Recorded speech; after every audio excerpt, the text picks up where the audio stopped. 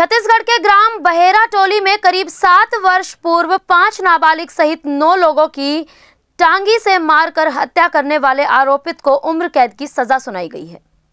आपको बता दें कि रामानुजगंज जिला सत्र न्यायालय के न्यायाधीश शैलेश अच्युत पटवर्धन की अदालत ने आजीवन कारावास की सजा सुनाई है। बताया जा रहा है कि 35 वर्षीय ग्रामीण पांडुराम नगरिया हमेशा गुस्से में रहता था। 3 मार्च 2013 को उसने पत्नी और बच्चे के साथ मारपीट की थी। इसके कारण पत्नी अपने बच्चे को लेकर मायके चली गई। घटना दिवस 4 अप्रैल 2013 को आरोपित पांडुराम घर पर अकेला था। अचानक वह घर से अपने हाथ में टांगी लेकर बाहर निकला। उसके सामने जो भी आता उसे मारता चला गया। इस समय घर के बाहर पड़ोस की मचकी बाई, उम्र 50 वर्ष, जो चटाई बीन रही थी उसी के पास कलंगी बाई उम्र 60 वर्ष बैठी हुई थी। दोनों की टांगी से मारकर हत्या कर दी। कुछ ही दूरी पर स्थित हैंडपंप से पानी भर रहे ललकी नगेसिया 60 वर्ष और उसकी चार साल की नाबालिग नतिनी को भी मार दिया।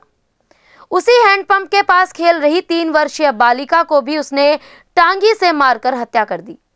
इसके बाद आरोपित पांडु राम पड़ोस के ललसाय नगेसिया के घर में घुस गया। और वहाँ पर सीता मुनि 25 वर्ष, उसकी दो वर्षीय पुत्री को सोते हुए अवस्था में मार डाला।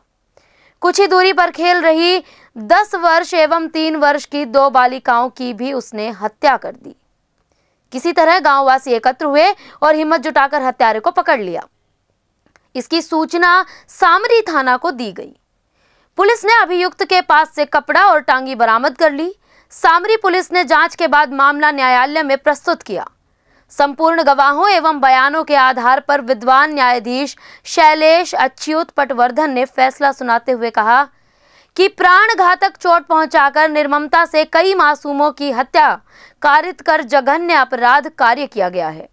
आरोपी द्वारा असहाय महिलाओं, जो घर में सो रही महिला एवं सार्वजनिक स्थान पर खेल रही अबोध बालिकाओं को क्रूरता पूर्वक लोहे की टांगी से मारकर उनकी हत्या की गई है। सुनवाई करते हुए कहा गया कि अभियुक्त का यह कृत्य अनैतिक, असामाजिक विधि प्रतिकूल हृदय विदारक एवं वेदनापूर्ण है। अभियुक्त द्वारा कार्य अपराध की अत्यंत गंभीर प्रकृति को दृष्टिगत रखते हुए दंडित किया जाना उचित प्रतीत है। हत्या के पृथक पृथक अपराध हेतु धारा 302 के अंतर्गत प्रत्येक मृतक के संबंध में कारित प्रत्येक अपराध के आरोप हेतु दोष सिद्ध किया गया है। समाचार एक्सप्रेस की report.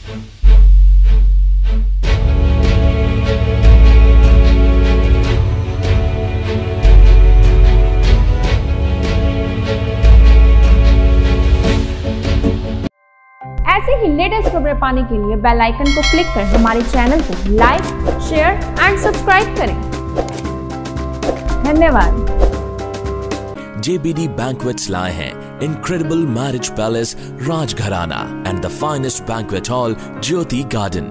World class catering, centrally air conditioned, lush green lawns, state of the art lighting. A perfect venue for wedding, launching and parties. Rajgharana and Jyoti Garden at JBD Banquets Enterprise.